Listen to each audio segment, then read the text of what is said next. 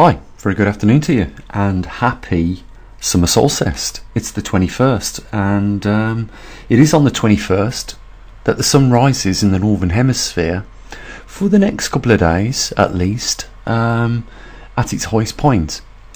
So, uh, you know, if you are outside, uh, I'm, I'm going to be very careful here because a lot of people in the last video, when I was saying, you know, make sure you wear your sunblock because of we're at 20 to 25% more solar radiation than usual. Uh, I got criticised because a lot of people were saying, you know, sunblock is also uh, known to cause cancers, but you know, do whatever you have to. Okay, if if it comes down to it, just avoid being out there at the highest point of the day where the sun is, you know, in the uh, sky. Just avoid it completely. You know, or if you've got alternative sunblocks, put them on. It's as simple as that. I can never win sometimes. You know, if I say one thing, we're always going to get someone else say another. Um, it's been nearly a month, can you believe, since we last did uh, Earth Alpha at a glance. This is the day where we get out all our equipment here the CO2 detector, the background radiation, uh, monitoring, um, you know, gamma beta and X rays. Uh, we also have an atmospheric oxygen sensor. We also include uh, the latest magnetic pole positioning, so you can go to this one page and get all this stuff, including, um, you know, the largest in the last 24 hours uh, magnetic, sorry, not the magnetic, uh, the largest earthquake. Um, and also the volcanic eruption um, amounts. So, I mean, let's go through it. Uh, before that, let me just say huge thanks to just a few. It is always, and more so these days, uh, you know, more people watching, less people supporting. It's it's just, you know, a shame. There's nothing else to say. You know, I wish it was other, and um, you know, even at this point in time, you know, we've reached 40 degrees, 100% now. We have definitely reached 40 degrees, and there could be just um, a number of months before we start to see dramatic changes. It's now between now and uh, 40 degrees and 45 degrees that we could see activity noticeably getting, you know, worse. Uh, with you know the uh, decaying magnetosphere from 20 to 25 percent could get much much worse than that. Uh, you know the weather on our planet or the climate on our planet can change dramatically. You know we're there guys. Three years in the waiting and today we're here.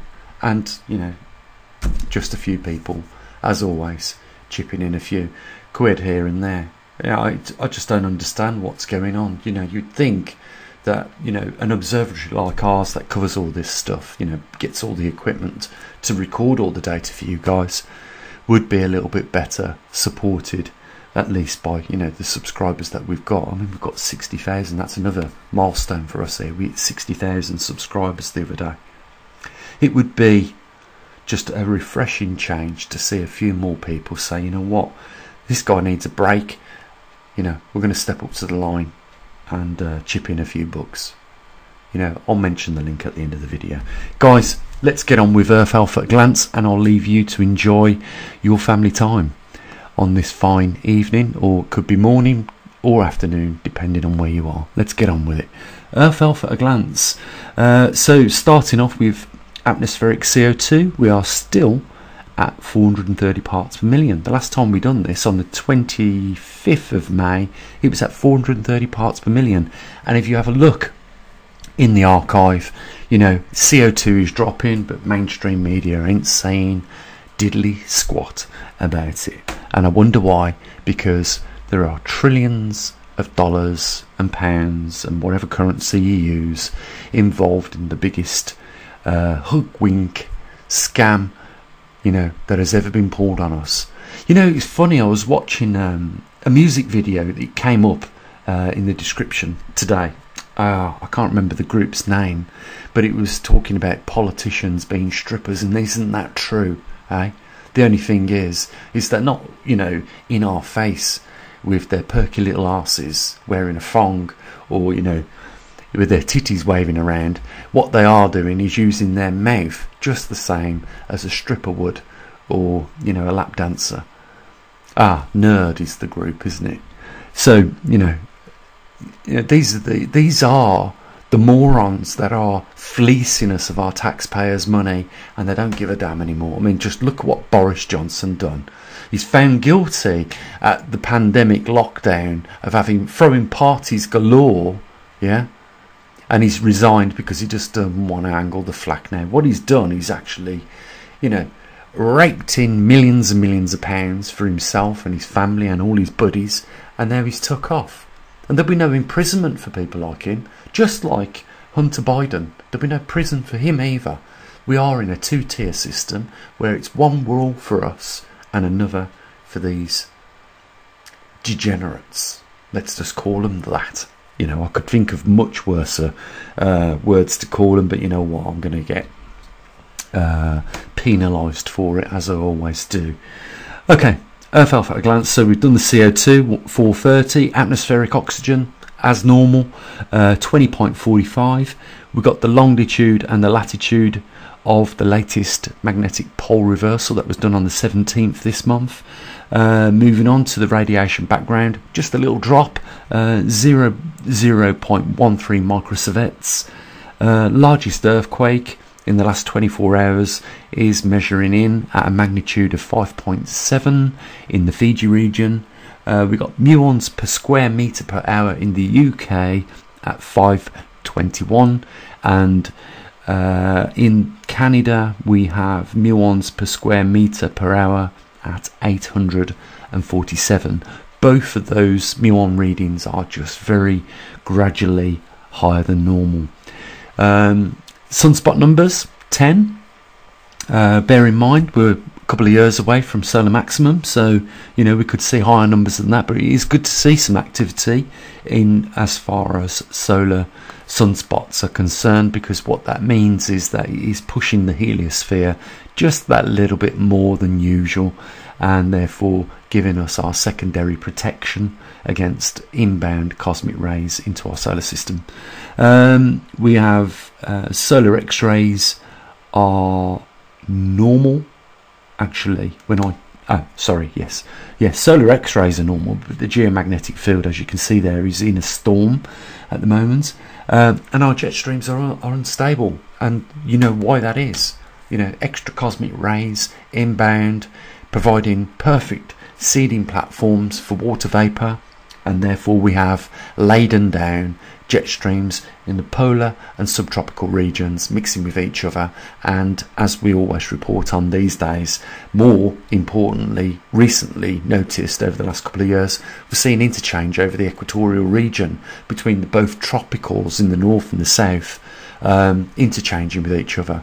And that was not common. Just like a lot of things, just like the polar jet streams mixing with the subtropical in the northern and southern hemispheres, that was not common. You know, our jet streams on our Earth right now are busted. We are on a busted planet, whizzing round the sun at 70,000 miles an hour, you know, rotating at 24,000 miles and sorry, 1,000 miles an hour. You know, it is a hostile environment. You only have to look at the moon to know that. You know, all them impact craters on the moon, the only reason why they're visible and the Earth isn't, you know, those those amount of impact craters not visible on the Earth because we have vegetation and we also have, you know, water erosion. So, you know, that's why the Earth doesn't look like the moon, but guaranteed it's been hit and spanked just as many times as the moon. And that is a demonstration of how hostile the environment out in space we live in. And you know, we all take it for granted, don't we? 70,000 miles an hour, Jane. Yeah, if you put your hand out the window of a car, if it was able to go that fast, your hand would disintegrate. It'd be like putting it in a furnace at about, I don't know, 7 to 10,000 degrees Celsius. It'd just melt it straight off. But that magnetosphere keeps us nice and comfy and protected. And it's that very magnetosphere which is weakening right now, guys. Sorry to put a blunt uh, note on it, but you know, that is what is happening currently as we speak right now. Our Earth is in one of the rarest anomalies ever known to man. And we have very little data, and that's why we uh, like to boast occasionally that we are the only observatory monitoring at a resolution of every three seconds the changes that are taking place with our magnetic north pole and our magnetosphere on this planet. Guys, there is a link down there if you know you feel we are deserved a little of a bit of support. It's entirely up to you. It's not mandatory, but geez, if we don't get support, we disappear. Simple as that. Keep us in the game. Chuck a few books in. Guys, have an amazing day. I'll say what I usually do. Take after your love, take care of your loved ones. As always, bye for now.